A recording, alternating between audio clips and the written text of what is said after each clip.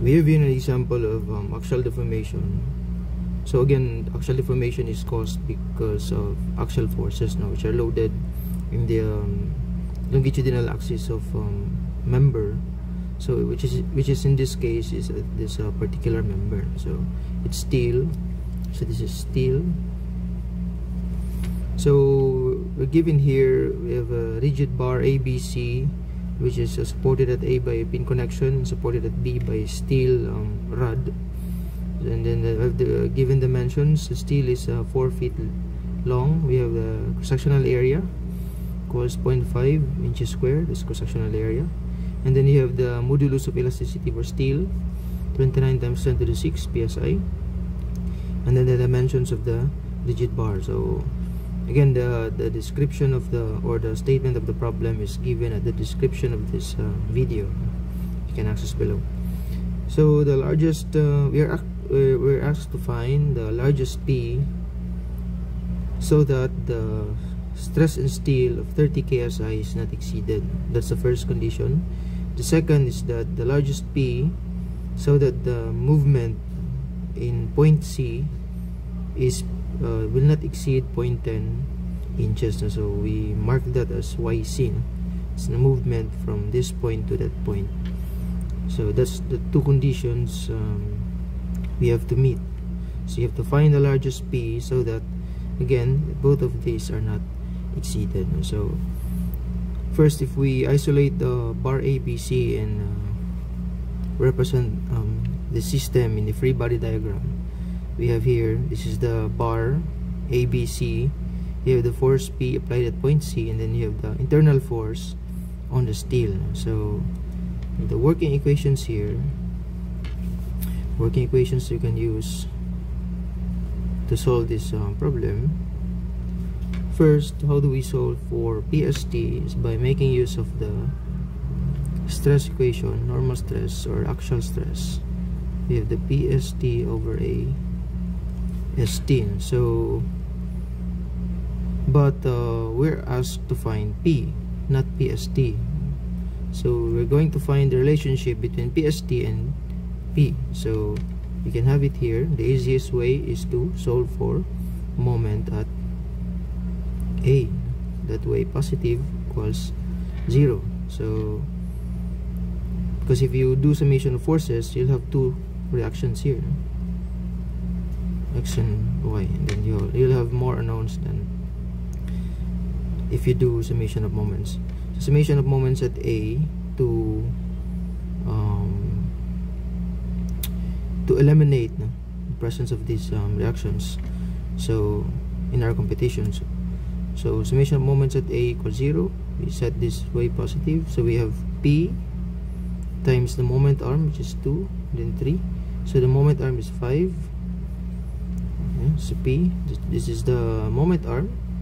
This one no? this, this this length.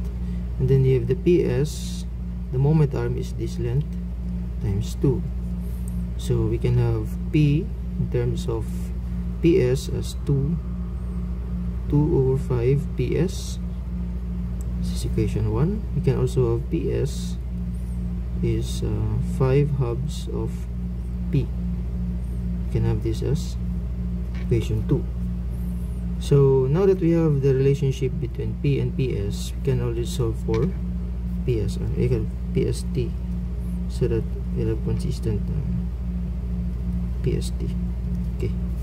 This one is this ST okay. So we can solve for the P using this relationship especially equation 2 so substitute equation 2 to this one. So we have 30 ksi so that's actually kips per square inch. And then we have the PST is actually 5 hubs of P which is equal uh, it's over 0 0.50 inches square. So the inches square cancel here it's actually then you have the P equals 6 kips okay you have 0.5 and then 30 so that's 6 kips 0.5 times 30 so that's 0.5 times 30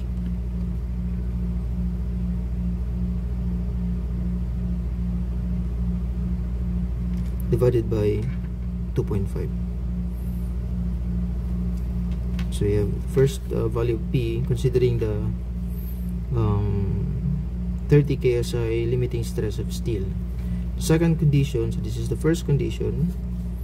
Second condition is that you have the yc equal 0 0.1 inch. So um, we're trying to limit the movement of the rigid bar AB so how do we do it? We have this one this is the projected uh, movement. So this one here movement is 0.1 inches. And then we have also here movement point B which is equal to we just denote it as YB but actually YB is just the deformation of the steel because as you apply the force P here if the because the bar is uh, rigid as we've stated earlier so the bar will not deform. So as the P moves here and then you have a downward uh, movement from point C so this will also move to accommodate the movement at point C. And then because the steel also deform because of the presence of this P. So the similar triangles you can have this one. You have two triangles the bigger one and the smaller one. So we have 0 0.1 divided by 5 equals divided by 2 so we'll have 0 0.04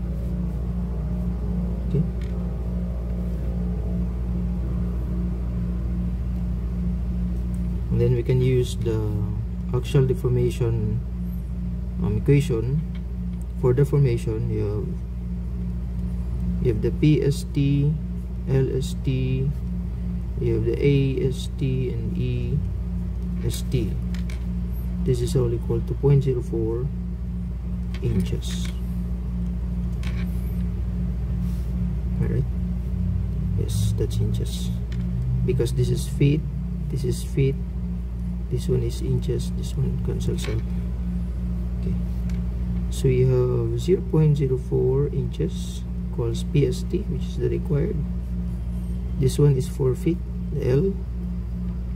You have to convert so 12 inches is in 1 foot. And then we have the area which is uh, 0.50 inches square. And then we have the E which is 29 times 10 to the um, 3 or 6 pounds per inches square so this one cancels with this this one cancels with this this one cancels with this we have pounds left now. PST equals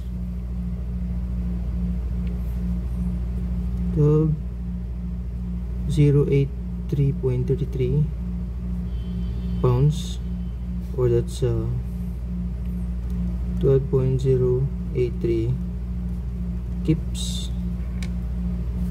okay. but this is not yet pin so you have to again get the value of p using this one so by using this equation equation 2 or equation 1 that p equals so equation 1 you have p equals 2 fifth of pst therefore you have 2 fifth of um, 083 kips therefore P equals 4.83 kips so you now have two values of um, P.